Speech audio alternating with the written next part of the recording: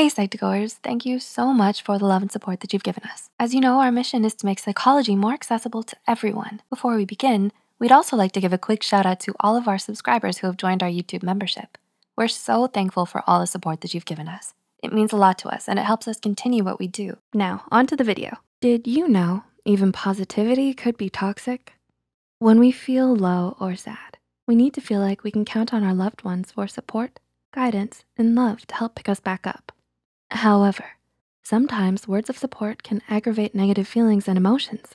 Toxic positivity encourages you to ignore emotions, devalue problems, and impose unreasonable optimism. Some phrases may seem positive, but in fact, they only provoke negative emotions. Before we begin, please note that this is intended for educational purposes only and does not suggest that if you have used or have heard any of these phrases, that they were necessarily toxic. It depends on the situation too. So how do you know that the things which you say or that you hear might be toxic? Here are some phrases that seem harmless, but may be toxic. Number one, you might not wanna listen to me, but I'm going to say this anyway. Have you ever experienced a situation where you either gave advice that others didn't ask for, or you heard advice from others that you didn't wanna hear? People often say this without really thinking through how this might be perceived by the other person. They assume that you won't want to listen to them but then proceed to tell you anyway without giving you any choice. This violates your boundaries and then blames your negative reaction on you in order to show that they're right. Number two, everything happens for a reason. Surely most of you must certainly resonate with this one. The person saying this is trying to comfort you and most likely has no bad intent behind those words. However, you might not take too kindly to this being said to you given the circumstance. For some people, this phrase can be followed with attempts to find someone to blame or to tell stories about karma and what goes around comes around. You may still be processing the event that happened and listening to such advice may cause you to misunderstand. Number three, the things that don't kill you make you stronger. A pet phrase of all your favorite films and music, right? According to a study, about 70% of people experience severe psychological trauma in their lifetime. It will usually be in moments when you feel powerless that people use powerful motivational quotes such as these to help raise your spirits. However, they may have the opposite effect. Instead of giving off the intended impression of invincibility, it fills one with shame over how they aren't living up to these expectations. After hearing these words, a person may experience even greater anxiety and doubts about their own abilities. Number four, I'd love to help you out, but have you had enough of this phrase for a lifetime? For some people, it becomes part of their everyday language. This person appears to always find an excuse for not helping you. This can have a toxic effect as you feel that you cannot fully rely on this person for support. Number five, time is a healer. Those having experienced a significant life event will probably have heard this. Although this phrase does ring true in the grand scheme of things, it can irritate those who have experienced intense grief or a traumatic event. Sometimes people will overcome their trauma with time, but for others, the trauma may linger for the rest of their lives. Some people may have to make a conscious effort and work harder on their inner healing. Each situation is unique. No one can say for sure how long your feeling of grief will last. So for some, time may not always be a healer. Number six, it's not the worst thing in the world. How often have we heard this from other people or even said it to somebody else? This phrase is often used to encourage perspective taking. However, comparing your situation to others won't make you any happier, and it doesn't relieve your pain. Some people unintentionally tend to want to simplify your problems by saying this, but actually it makes you feel guilty about your own negative emotions and experiences.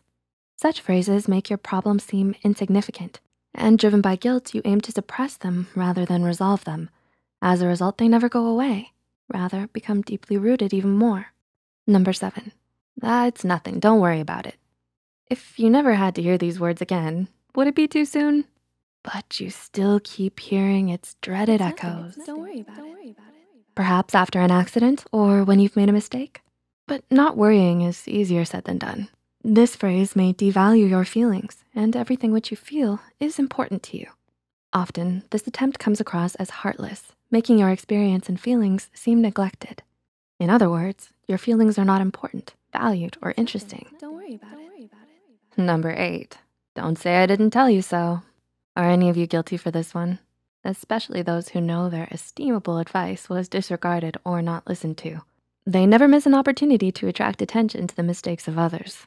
Admittedly, it does come across as smug, which does not help the person hearing it. You already feel bad for what you have or have not done, and this phrase only makes you feel worse. It may even cause resentment and aggression. Number nine, I've been there too. This is how some people try to relate to you and what you're going through. But sometimes it actually is not the most helpful thing to say, especially if somebody is grieving. That person doesn't know how you feel, as we all experience things differently. Everyone has their own unique story and situation. Someone else's experience doesn't help you go through hard times. And by suggesting so, it feels like they're being fake with you or trying to manipulate you into letting your feelings go. Number 10, well, if I were you, ever felt the urge to respond by saying, well, you're not, so mind your own business. Something that is done cannot be undone. If that person hasn't been in your shoes, then they can't know exactly how they would have acted. So no point in trying to be a soothsayer, right? Often this comment can sound like a self-affirmation at the expense of another. Sometimes people may be trying to empathize or sympathize, but it ends up sounding like they would have reacted in a better way than you. Number 11, you're strong, so you'll deal with it. You must have heard this countless times, right? Although this intends to come from a place of empowerment, usually you hear this when you don't feel strong at all.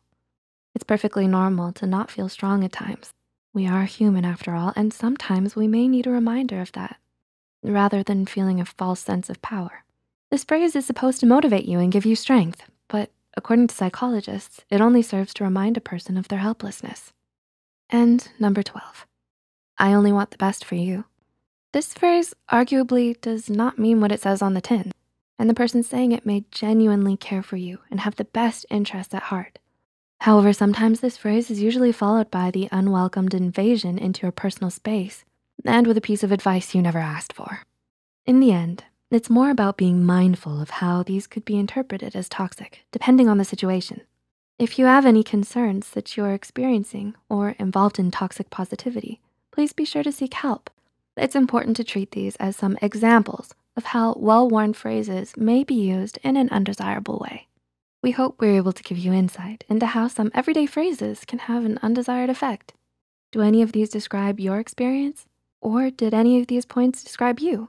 Leave a comment down below about your encounters with them if you'd like. Please feel free to share any thoughts you have as well. If you found this video helpful, be sure to hit the like button and share it with those out there who may be using or being subjected to these phrases. Don't forget to subscribe to Psych2Go and hit the notification bell icon for more new videos. And thanks for watching.